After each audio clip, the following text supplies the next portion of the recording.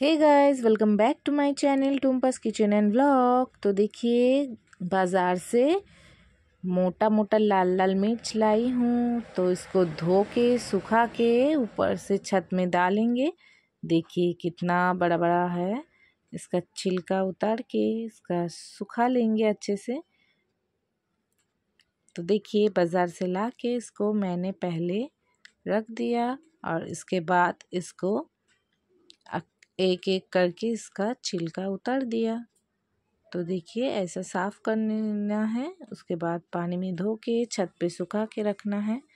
और next step देखिए, कलौंजी, मेथी दाना, सरसों, सौंफ, धनिया, जीरा और अजवाइन और देंगे थोड़ा सा सूखा मिर्च। थोड़ा सा सूखा मिर्च पहले भून लेना है, उसके बाद पूरा मसाला देना है।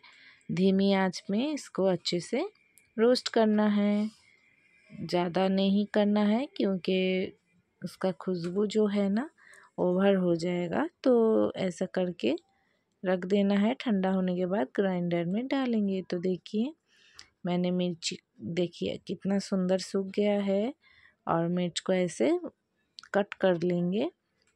देखिए गाइस तो गाइस आप लोगों को वीडियो अच्छा लगे तो लाइक करना और कमेंट करना कमेंट में बताना। कि आप लोग भी ऐसे बनाते हैं कि नहीं? तो देखिए, मैंने पूरा मसाला डाल दिया है, अभी इसको पीस लेंगे अच्छे से। देखिए, ऐसे दरदरा करके पीसना है। ज़्यादा बारीक नहीं करना है, क्योंकि मसाला दरदरा रहेगा, तभी खाने में मज़ा आएगा। तो चलो, कढ़ाई में ऑयल डाल देंगे, इसको अच्छे से गरम कर लेंगे, ऑयल को डाल के तो अभी इसमें मैं डालूँगी मसाले में काला नमक। काला नमक खाने में अच्छा लगता है और स्वादिष्ट भी है और खुशबू भी बहुत है, बढ़िया आता है गाइस तो ऐसे मिला लेंगे। तो देखिए, अभी दो नींबू काट कर लेंगे। नींबू का रस देना है खटाई के लिए।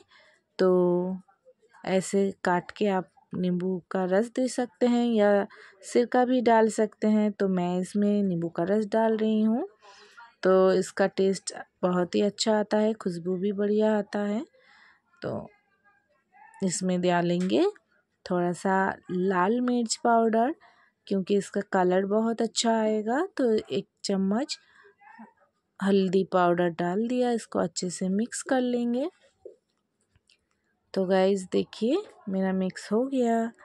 ऐसे करके मुझे लगता है थोड़ा सा मिर्च और डालना पड़ेगा तो एक चम्मच और डाल दिया। और यह घोलता हुआ तेल डाल दिया है मसाले में। देखिए कैसे उबल रहा है गाइस ऐसे मिक्स कर लेना है। तो ये वाला अचार आप घर में बना के रखिए। बहुत दिनों तक रहता है। हम लोगों के घर में तो ज़्यादा नहीं रहता क्योंकि हम लोग खा लेते हैं रोटी के साथ, पराठे के साथ या राइस के साथ। दाल चावल जब बनता है तो आप लोग स्टोर करके रख सकते हैं बहुत दिन तक। तो देखिए मसाला कितना अच्छे से तैयार हो गया। तो चलिए इसमें भर लेते हैं। ऐसे इसको अंदर में ऐसे डाल देंगे अच्छे से। मिर्च के भरवा बैंगन की तरह। एक एक करके पूरा मिर्च में मैं ऐसे भर लूँगी। तो देखिए फाइनली पूरा मैंने भर लिया है।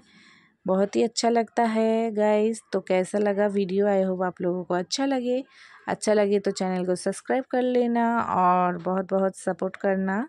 और कमेंट में ज़रूर बताना कि आप लोगों को कैसा लगा वीडियो तो प्लीज़ चैनल सब्सक्राइब कर लीजिएगा।